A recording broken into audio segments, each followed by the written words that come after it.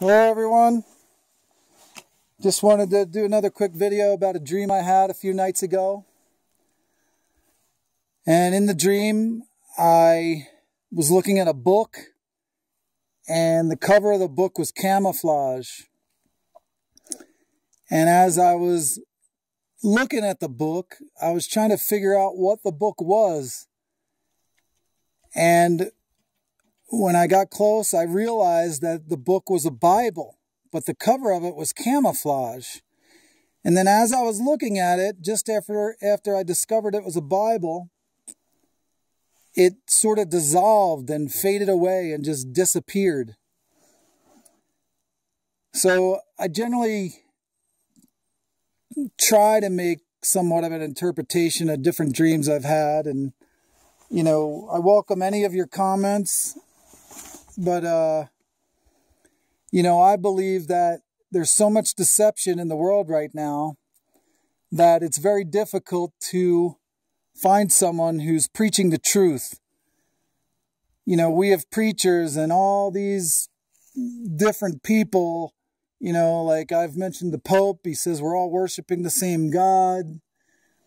You know, other people saying, oh, you can do whatever you want. You don't have to live righteously. You just have to believe in Jesus.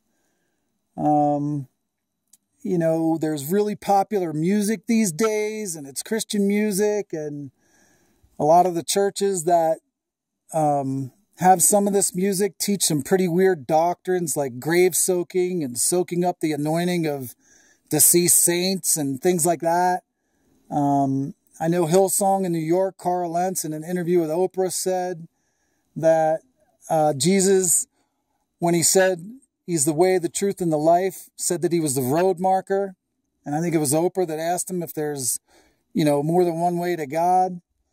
Well, I'm sure any Christian and most of us can, you know, know what comes after that. Jesus said, I am the way, the truth, and the life. No one comes to the Father but through him.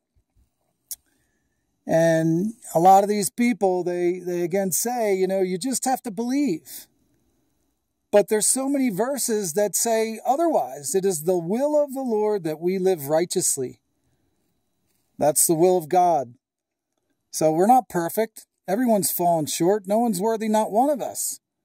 But once you receive Christ, you accept the Lord as your Savior, you're a sinner, you believe in Him, and you confess, that Jesus Christ died for our sins and, you know, all that, you are sanctified until the day of his coming. In other words, you know, you turn from wickedness. You know, God's a righteous judge and, you know, we're to live righteously. I'll just say that. So, a couple verses I'll read that I think are applicable um, the first one is to uh, regarding the camouflage Bible and the fading away and the dream I had. So Amos 8:11, Behold, the days come, saith the Lord God, that I will send a famine in the land, not a famine of bread, nor a thirst for water, but of hearing the words of the Lord. And they shall wander from sea to sea, and from north even to the east. They shall run to and fro to seek the word of the Lord, and she'll not find it. And that's a lot of what's going on today. So, again, I always say, seek the Lord for discernment. Draw near to the Lord. He will answer you. You, he will provide you direction. The Lord's sheep hear his voice. So another verse I'll read that is applicable um, regarding deception. 1 John 2 4. He that saith, I know him, and keepeth not his commandments is a liar, and the truth is not in him. So again, we don't have to be perfect. I'm not perfect. I'm a sinner. I make mistakes. And when I do, I've mentioned this before, draw near to the Lord. Don't run away ashamed Draw near to the Lord. He knows your heart. He knows you're sorry.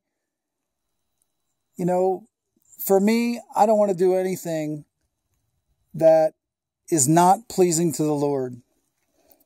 I want to seek ye first the kingdom of God. That's what I want to do. So, all right, well, hope this blesses y'all and uh, hope y'all have a wonderful day. It's a beautiful day out here in Colorado and um, just again, keep praying for the lost. Pray for the people that, you know, are blinded by the enemy. Pray for these people with the fires and the all the things going on, earthquakes and famines and disease and you know uh, hurricanes and you know all the things that Jesus said were going to happen. They're happening. So pray that people's eyes would be opened. All right. God bless you all in the name of Jesus Christ.